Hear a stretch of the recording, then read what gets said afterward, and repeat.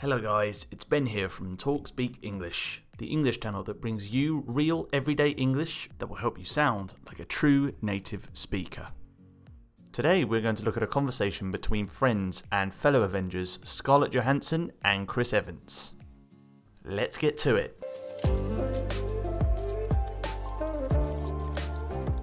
You boom! Oh my gosh, way to rub it in. I don't even know what it is. You want it. Um, how's your daughter? She's good. How old is she? Five. How old is she now? How old is she? Way to rub it in. Depending on the context, to rub something in can have a couple of meanings. First of all, to rub something in means to apply firm pressure to the surface of something using a repeated back and forth motion. For example, to rub in sun cream. In this context, however, it is used to express when someone keeps talking about something or doing something that makes you upset or annoyed. The important thing here to remember is context. Between friends, it can be used in a jokey way, and in the example, Scarlett uses it to tell Chris that he shouldn't boast about the coffee, although her tone suggests it is only a joke and she's not actually offended. You boom! Oh my gosh, way to rub it in. I don't even know what it is. In the next example, when the girl asks the guy, don't rub it in, it's because she doesn't want him to keep repeating the fact that she's single, as it's rather embarrassing for her. Look, uh, for all I know, you have a boyfriend, so there's no point in me even asking you. I don't. Um, I don't have a boyfriend. Oh, you don't? Yeah, don't rub it in. Right. Well, I was wondering if you.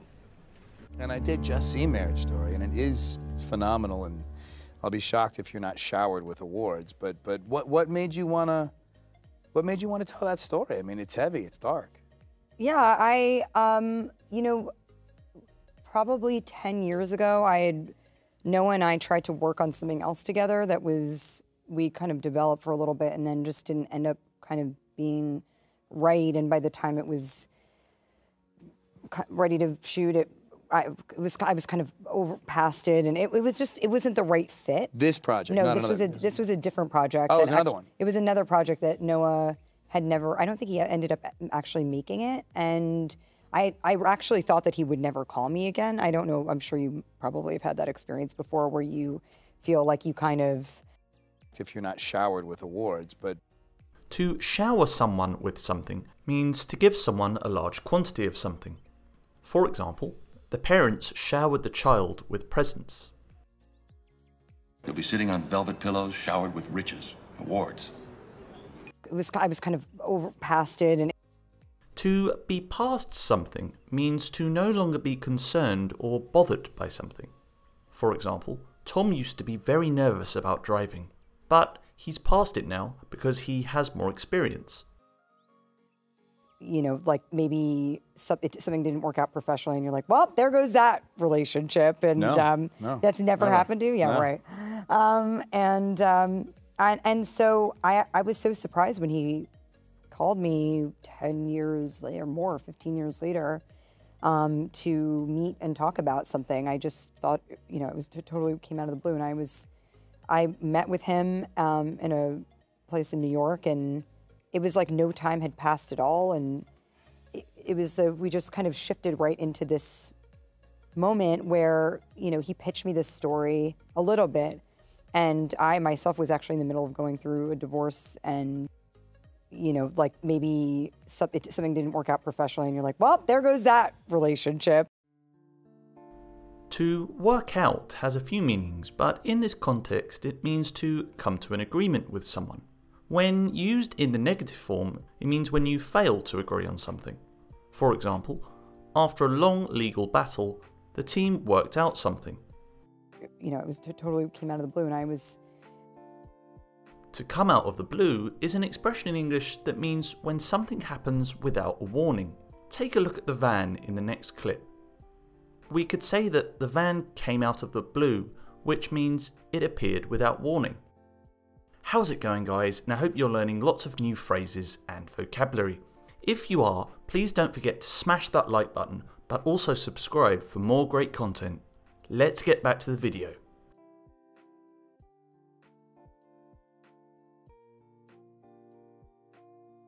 You boom! Oh my gosh, way to rub it in. I don't even know what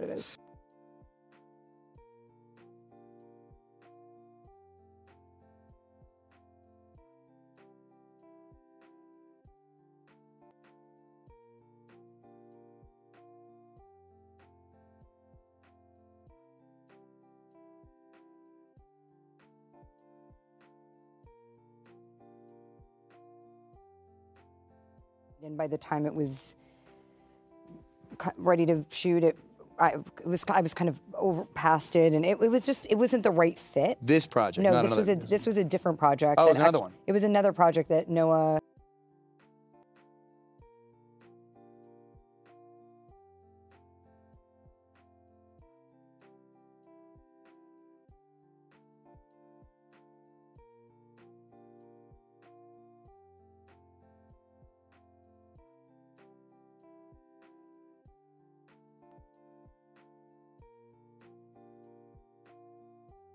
You know, like maybe something didn't work out professionally, and you're like, "Well, there goes that relationship," and No, um, no, that's never never. happened to you. Yeah, No. right. Um,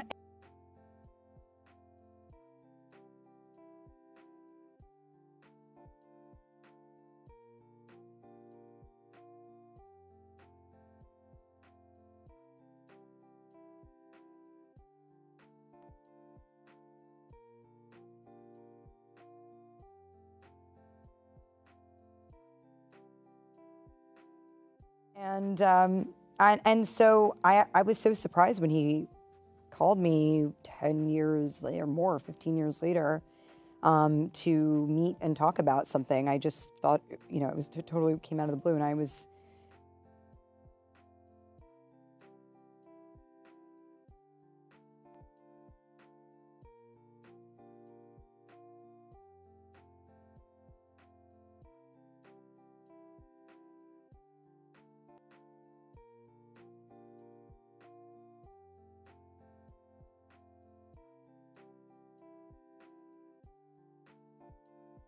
So there we are guys, another video done for you there, and I hope you learned some cool phrases and vocabulary that you can use to help you sound like a real native speaker.